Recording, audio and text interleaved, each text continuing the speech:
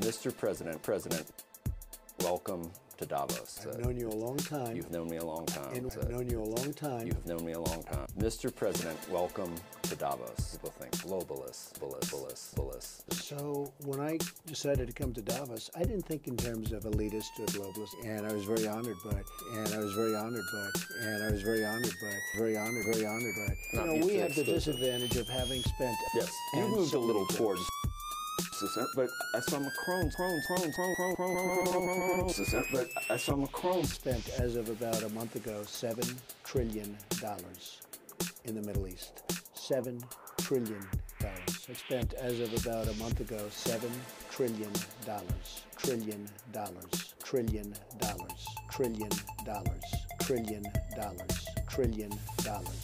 Trillion dollars. Trillion dollars. Trillion dollars. Trillion dollars. Trillion dollars. Trillion dollars.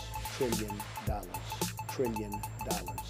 Trillion. I spoke with Tim Cook. Trillion dollars.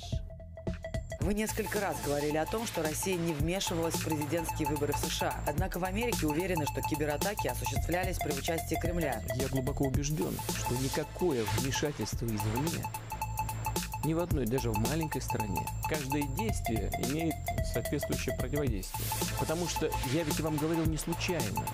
И вам, и другим представителям средств массовой информации. Вот э, недавно во Франции, в России не было никаких э, каналов с, э, ни с одним из штабов, штабов, штабов, штабов, штабов, штабов, штабов, ни с одним из штабов. Да ни- ни- ничего не говорил, ничего не говорил. Да ни- ни- ничего не говорил. Просто я когда это увидел, я просто рот открыл глаза. Mr. President, welcome to Davos. Thank you very much.